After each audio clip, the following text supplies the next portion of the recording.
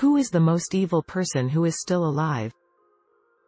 Omar al-Bashir immediately came to mind. Former president of Sudan who was behind the Darfur genocide. Absolutely vile human. I'm going with Luis Garavito. He's a serial killer who was convicted of brutally murdering and raping 147 young boys, however the death toll is likely over 200. He is currently 65 years old and in prison. However, because he aided police in finding the bodies, his sentence was reduced. He could possibly be out of prison next year. Min Aung Hlaing, the Myanmar junta who commit the coup still actively killing their citizens every day.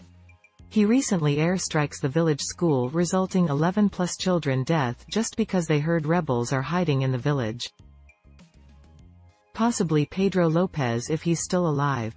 One of the most prolific serial killers in history who may have killed 300 people as of 1998 when he was released. His whereabouts are still unknown since 98.